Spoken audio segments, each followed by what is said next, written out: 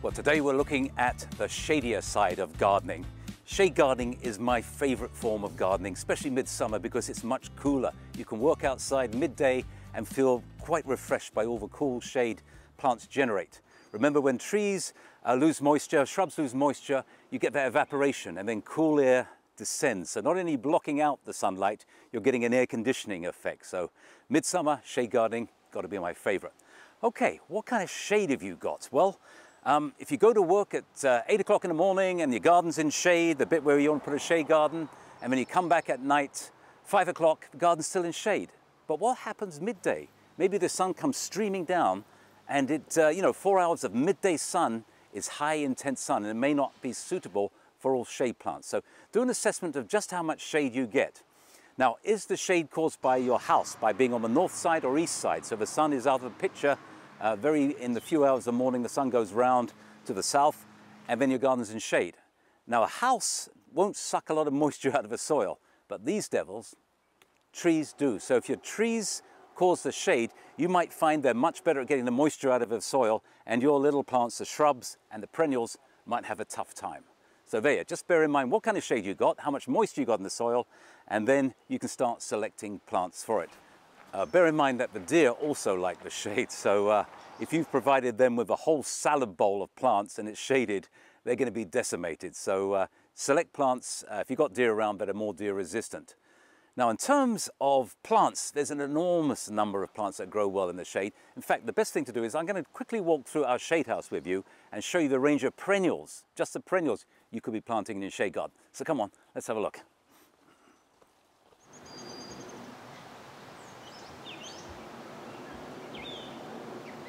Well, here I am at the shade house uh, here at Greystone Gardens, and we're mimicking nature a bit. We're allowing a bit more sunlight in, but remember, uh, a lot of shade gardens are caused by trees and they will, uh, as their leaves come out, the shade gets more and more deeper.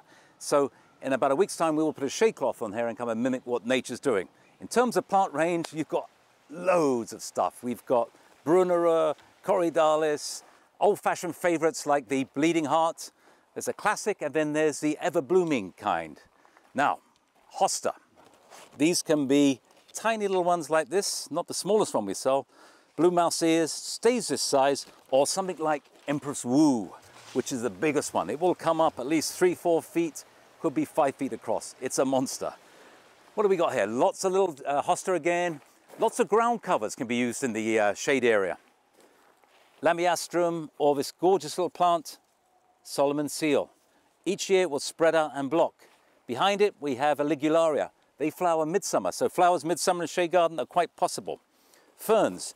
Whether it's a regular green fern or one of these Japanese painted ferns, there really are some great choices to be had. Or, just got to watch what you buy. So this looks kind of innocent and interesting, but it is a rampant spreader. We have a patch down uh, in the garden center and you can see how aggressive it has been. looks fabulous though, if you've got the room and the place for it. So one of the best ways of getting a feel of how you use all these kinds of plants is to see a garden that's matured. And I've got one to show you. It's at my house, faces north.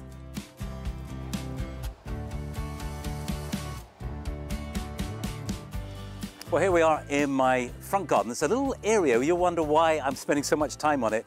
And if you see from the view from that direction, it's kind of hidden from the main driveway up to the front door. But the real secret is this window. It's in right next to my kitchen table and we can look out of it. In the winter and in the summer, we can open the window we can put a little water uh, feature here to make a little bit of sound and it distracts from the road.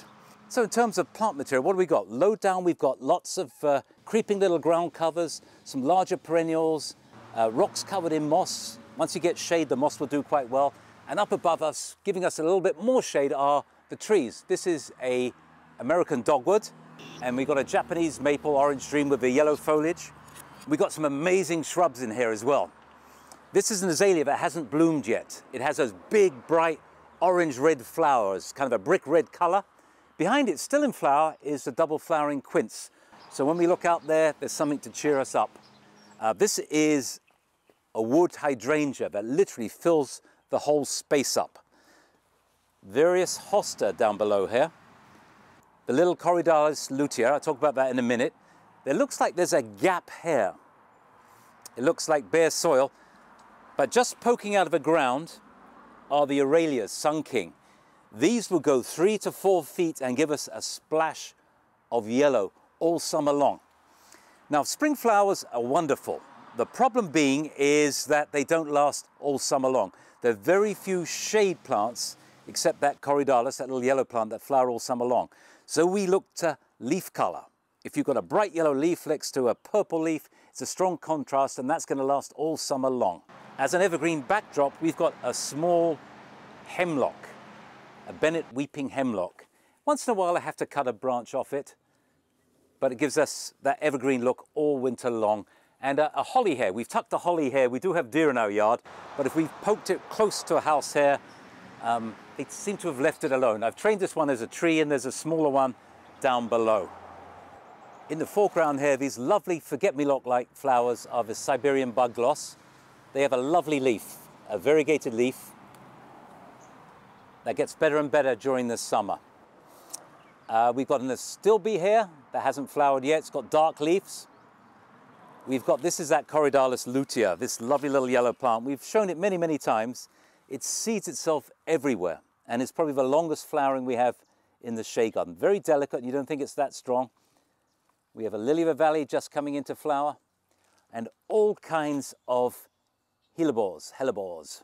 Um, double flowering, single flowering, white, yellow, purple, red, pink. There's a whole range that, as you can see, do really, really well. So putting them together, it creates a little filtered light and you get the sparkles of color basically all summer long. And there's enough interest with the trees and the shapes of the plants that even in winter with snow around it and the rocks exposed, it's a very attractive winter scene as well. So there we go, little introduction to shade gardening. Um, one of the secrets though is to keep buying plants through the summer. Don't fill everything up at once because you may get things wrong. Choose plants through the summer and you may get some late flowering, but you can also choose plants that got really good, interesting foliage. So if you've got any questions, I'm always down at Greystone Gardens. Come and see me and I hopefully I can answer your questions.